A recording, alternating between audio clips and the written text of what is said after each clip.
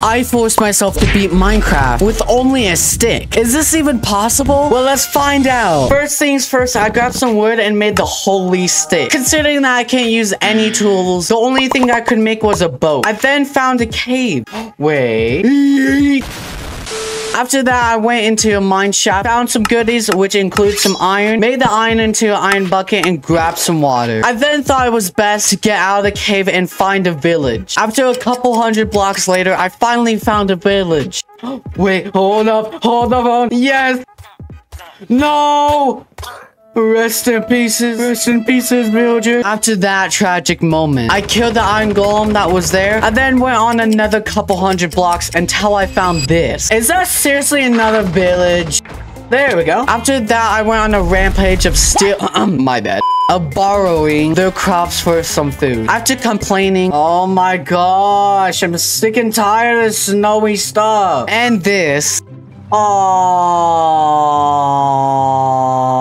please, I'm not gonna have that experience again. I finally found the plains biome with the village as well. I then grabbed some food, killed the iron golem, and then also found a lava pool. I then made another portal, grabbed some blocks, made some armor, and went in. Where am I?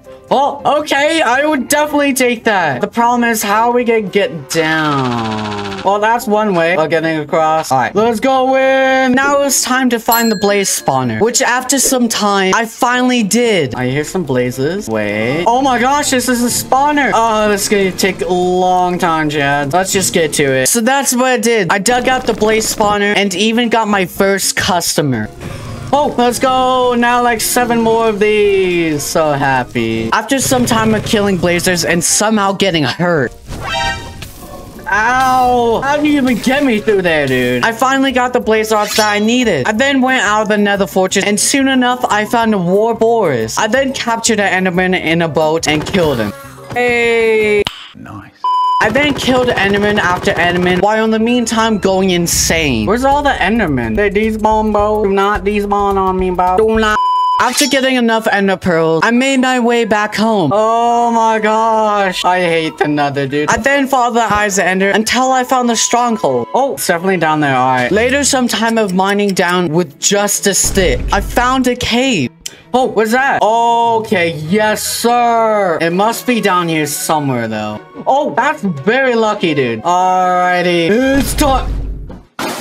After some time, I made my way to the end portal room. Well, I found it. Oh, I hate you guys. When I said these guys were gonna be annoying, I meant it. Oh, that's fantastic. Come on, dude. Why? Oh, come on, dude. Luckily, I broke the spawner, threw the eyes of Ender, and went in. Alright, time to do it like the champ. I'm speedrunning, boys. Eat! And that's every single one. Let's go. Placing bed.